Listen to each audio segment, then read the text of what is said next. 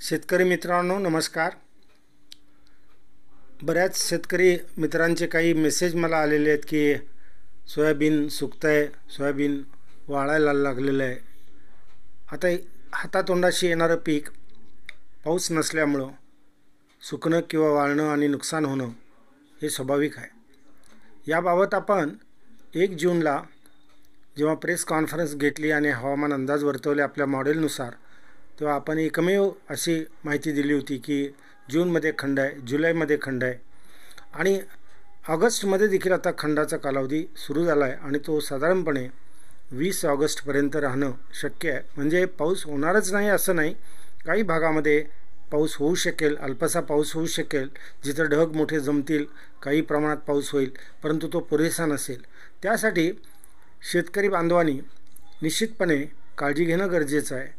त्याच्यामध्ये प्रामुख्यानं जिथं पाण्याची सोय आहे तिथं स्प्रिंकलरचा वापर करावा ड्रिपचा वापर करावा त्याचप्रमाणे पाटाचं पाणी देण्याचाही वापर करावा.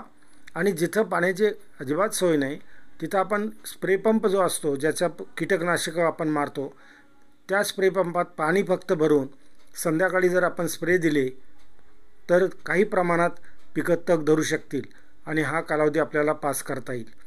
हा ही झाली एक बाजू. दुसरी बाजू अशी आहे की जेव्हा आपण एक जून ते चार ऑगस्टपर्यंतचा कालावधी अभ्यासला मी तेव्हा माझ्या लक्षात आलं की संपूर्ण नंदुरबारमध्ये त्या जिल्ह्यामध्ये पंचेचाळीस टक्के एक जून ते चार ऑगस्टपर्यंतच्या कालावधीत सरासरीने पंचेचाळीस टक्के पाऊस कमी झाला आहे त्याचप्रमाणे धुळ्याला तीस टक्के जळगावला साधारणपणे पंधरा टक्के आणि त्याचप्रमाणे गडचिरोली त्याचप्रमाणे गोंदिया अकोला अमरावती या जिल्ह्यांमध्ये देखील सरासरीपेक्षा पाऊस कमी झालेला आहे.